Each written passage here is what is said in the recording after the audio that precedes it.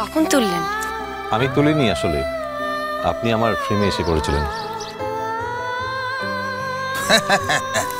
তাই তো। মজার ব্যাপারটা দেখুন আমি এতক্ষণ ধরে পোজ দিলাম।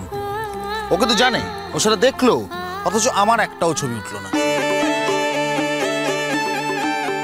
আপনি জানেনই না অথচ আপনি ক্যামেরা বন্দি ম্যাডাম বুঝলেন তো একেই বলে অভাগা যেদিকে যায় সাগর শুকায়া যায়।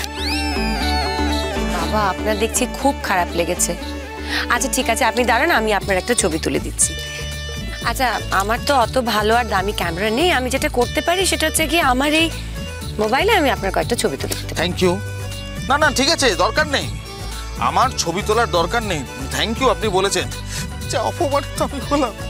এই অপমানের পর ছবি এখন তুলবো না, আমি ছবি তুলবো না তুলবো না। দেখুন খুব আমার আমার মনে হচ্ছে না সত্যি খুব খারাপ লেগেছে। সবটা নাটক। কুসুম দোলা